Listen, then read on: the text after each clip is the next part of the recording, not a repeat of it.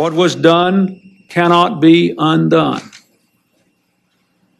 But we can end the silence.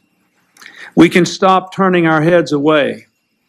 We can look at you in the eye and finally say, on behalf of the American people, what the United States government did was shameful, and I am sorry. So, what was so significant about this event that the president would apologize on behalf of the entire nation? Hi, I'm Jake Choi, and starting in the early 1900s, with syphilis rates sky high, the United States Public Health Service started a syphilis study on African American males.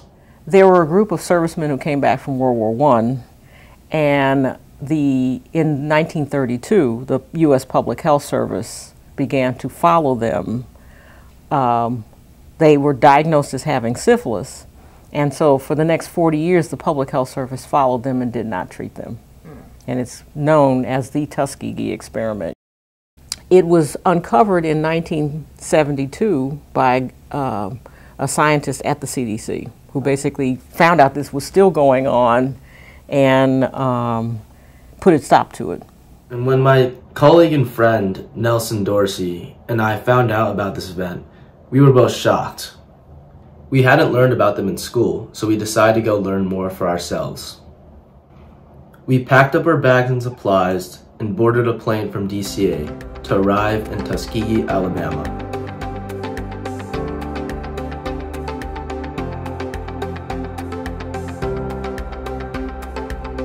So, you might be wondering, what were Nelson and I hoping to learn from our trip to Alabama?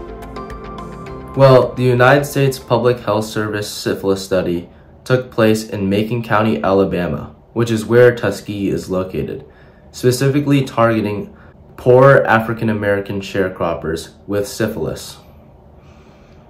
However, besides the experiments, Alabama was also a major location of the broader civil rights movement.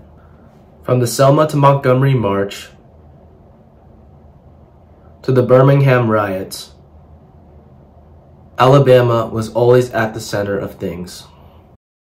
What's going on, guys? I'm Nelson with Jake. We yep. have we've made it to Montgomery, Alabama. Tomorrow we are headed for Tuskegee University yes, and a are. pretty cool tour. And then really exciting, we're gonna actually have the opportunity to speak with uh, Dr. David Hodge, who is a bioethicist at Tuskegee University. So he's very knowledgeable on the subject. So we look forward to talking to him tomorrow.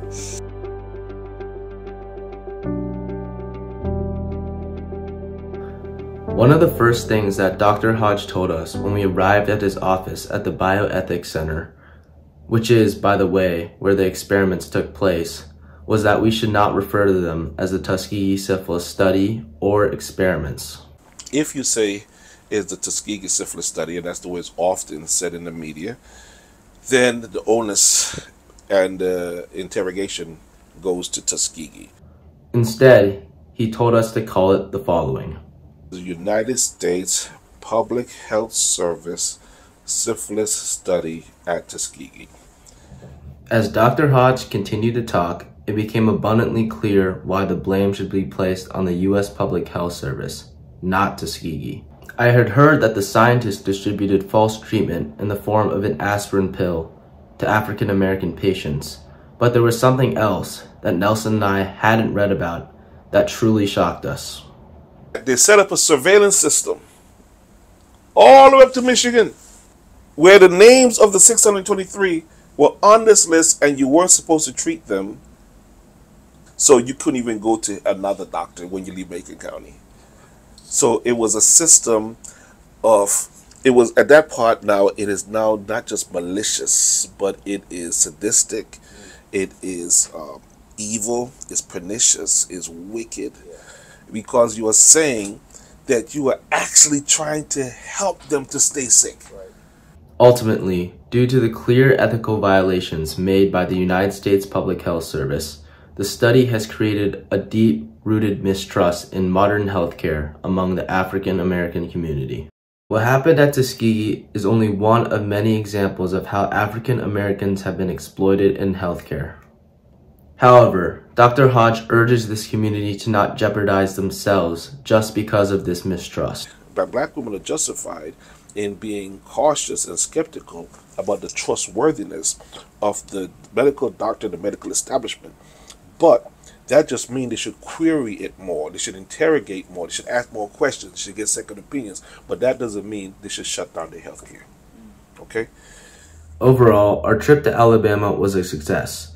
In addition to Dr. Hodge, Nelson and I talked with individuals who gave us more information on the broader civil rights movement, such as Mr. Jake Williams, who told us about his firsthand experience during the Selma to Montgomery March, and Mr. Columbus Mitchell, who told us about his two uncles who were there on the infamous Bloody Sunday. With our investigation done in Alabama, we headed back to DC. But one question still remained. What is the impact of these experiments on modern healthcare?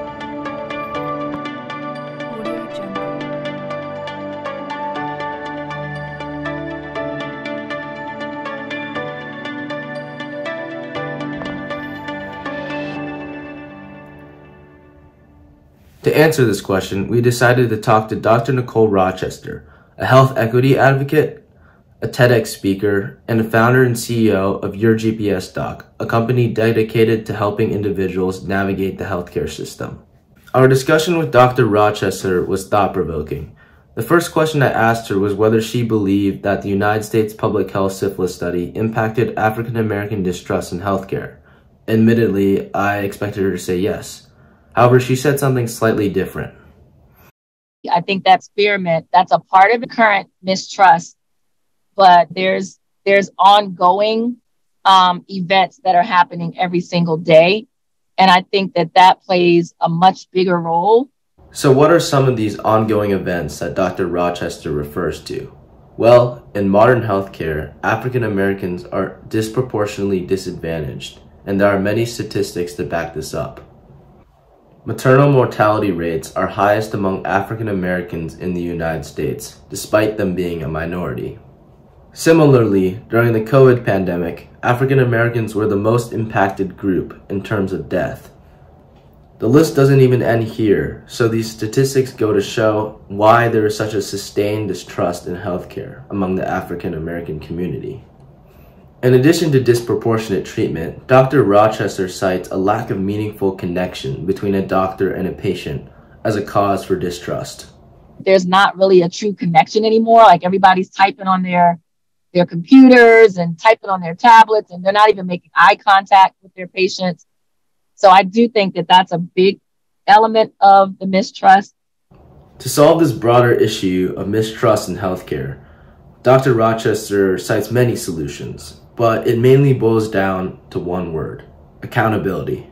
I think that there needs to be accountability both at the level of the individual provider, but also like acknowledging that they're functioning in a broken system. There needs to be accountability for insurance companies and hospitals and health systems and pharmaceutical companies and all of the systems that have created this mess that we now have.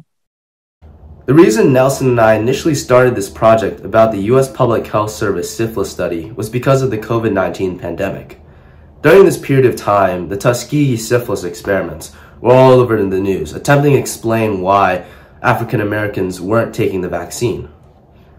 While I do recognize the importance of sharing what happened at Tuskegee in the news, I believe its portrayal has become a way of blaming historical events for modern distrust in healthcare rather than focusing on what can be done now. In reality, as Dr. Rochester points out, there are still issues persisting today that cause this continued mistrust. The historical error made at Tuskegee should be something that we learn from, a reminder to keep fighting for health equity.